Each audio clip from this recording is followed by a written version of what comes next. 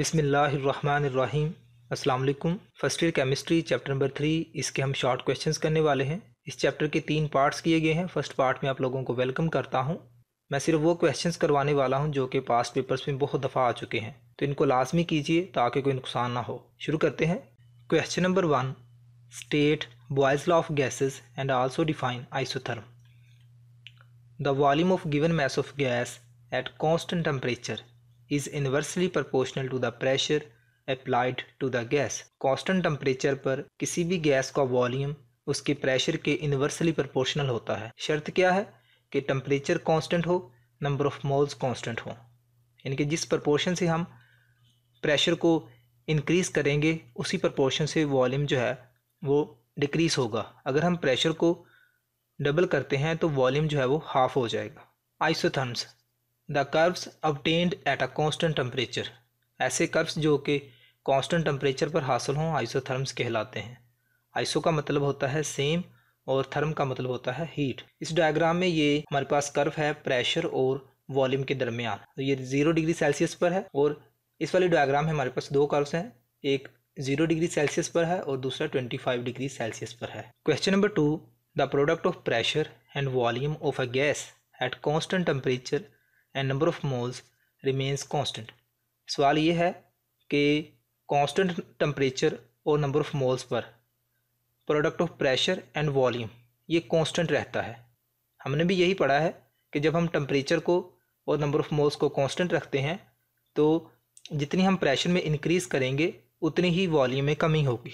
Increase in the pressure will decrease the volume in proportion to the increase in the pressure so that the product of pressure and volume remains constant यानी कि P V is equal to K means constant यानी कि जैसे ही हम pressure को double करेंगे तो volume जो है वो हाफ़ हो जाएगा। यानी कि जिस प्रपोर्शन से हम प्रेशर को इनक्रीज़ करेंगे, उसी तनासब से वॉल्यूम डिक्रीज़ हो जाएगा।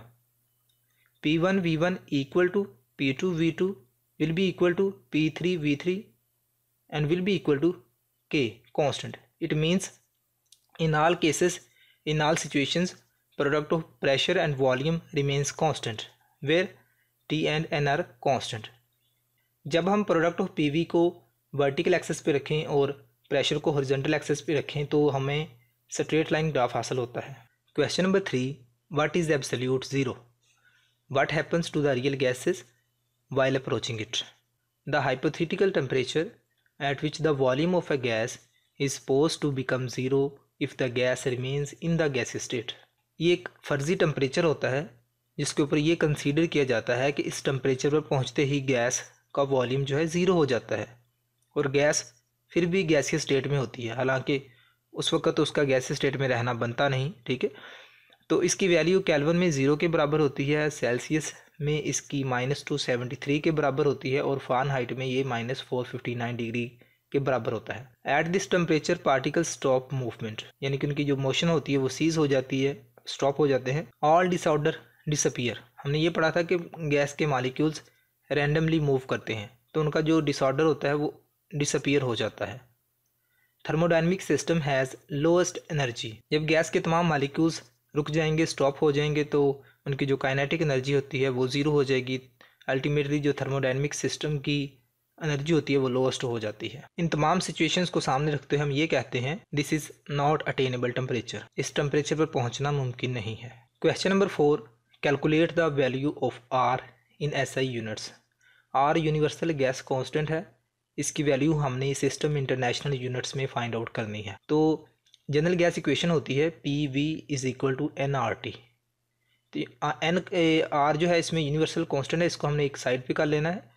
तो R will be equal to P V over n R T तो नंबर ऑफ़ मोल्स हमने इसमें वन मोल रखने हैं और temperature two seventy three kelvin और चूँकि गैस जो है वो वन मोल है तो वन मोल गैस में एट एस टी पी जो वॉल्यूम होता है वो twenty two point four one four decimetre cube होता है। और वॉल्यूम का यूनिट जो एस आई होता है वो मीटर क्यूब होता है तो डेसीमीटर क्यूब को हमने मीटर क्यूब में ले आना है zero point zero double two four one four metre cube बनता है ये। और प्रेशर जो है, इसका ऐसा यूनिट न्यूटन पर मीटर स्केयर होता है, और एक एटमॉस्फेयर प्रेशर जो है, ये one zero one three two five newton पर मीटर स्केयर के बराबर होता है। इन सभी की वैल्यूज़ का हमने पुट आउट कर लेना इधर। हमें 8.31 न्यूटन मीटर पर कैलवन पर मोल ये आंसर मिलता है। और न्यूटन मीटर बराबर होता है जूल के। तो इसको हम 8.31 जूल पर कैलवन पर मोल भी लिखते हैं। और ये बहुत ज़्यादा इंपॉर्टेंट क्वेश्चन है। Question number five derive the formula for density of an ideal gas from general gas equation general gas equation जो कि P V is equal to n R T है, इसमें से हमने किसी गैस की डेंसिटी के लिए फार्मूला फाइंड आउट करना है। यहाँ पर एन जो है, ये नंबर ऑफ़ मोल्स के लिए होता है और नंबर ऑफ़ मोल्स कैलकुलेट करने का फार्मूला होता है। Given mass divided by molecular mass small m over capital M इसकी हमने वैल्यू पुट आउट कर देनी इधर। फिर हमने क्या करना है कि ये जो वॉल्यूम है, इसको हमने मैस के नीचे ले आना है। गिवन मैस के नीचे। ऐसे। P M is equal to small m over V R T mass पर यूनिट वॉल्यूम हमें पता है, ये डेंसिटी के बराबर होता है। तो इसकी जगह हमने डी फॉर डेंसिटी पुट कर देना है। अब डेंसिटी को हमने एक साइड पे कर लेना density will be equal to P M over R T तो ये वो फार्मूला है जो कि हम जनरल गैस इक्वेशन में से आइडियल गैस की डेंसिटी फाइंड आउट करने के लिए निकालते हैं। Question number six, lighter gases diffuse rapidly than heavier gases. सवाल ये है कि जो हल्की गैसें होती हैं, वो भारी गैसों की नस्बत जल्दी डफ्यूज़ हो जाती हैं। Why according to Graham's law rate of diffusion of gas gases is inversely proportional to the square root of molecular masses of gases as well as their densities Graham's law के मुताबिक जो रेट ऑफ़ डिफ्यूज़न होती है, वो molecular masses के inversely proportional होती है। और मालिकुलर मैसेज जो हैं, ये डेंसिटीज़ के डायरेक्टली प्रोपोर्शनल होती हैं।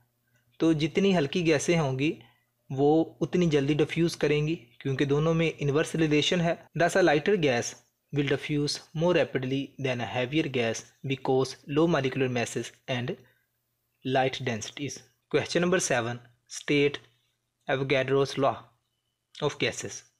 This law states that equal volume of all the ideal gases at the same temperature and pressure contain equal number of molecules कि आइडियल गैसेस के इक्वल वॉल्यूम्स सेम टेम्परेचर और pressure पर equal number of molecules रखते हैं mathematically हम ये भी कह सकते हैं कि जब टम्परेचर और प्रेशर कांस्टेंट रखें सेम रखें तो आइडियल गैसेस का वॉल्यूम जो है वो नंबर ऑफ़ मोल्स के डायरेक्टली प्रोपोर्शनल होता है।